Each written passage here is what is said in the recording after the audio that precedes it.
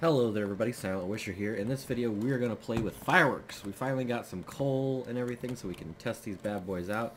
So let's go to our resin launch pad here. and uh, it looks like you can ignite one from your inventory, but that seems silly so we're going to put one out here. And let's see, how far away can we be? Alright, let's light it.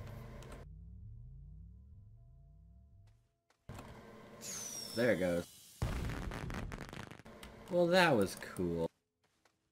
I guess let's light one from our inventory, see what it does. Does it, does it shoot backwards? We'll see. Yep, oh my god.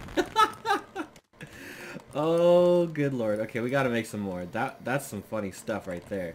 Wait, that means we could, like, light multiple at a time, so, like, we're not gonna light them, you know, from, uh, from the ground. We're gonna light them from, let's see, should we light them from our, our two mounting points on the top of our uh, character?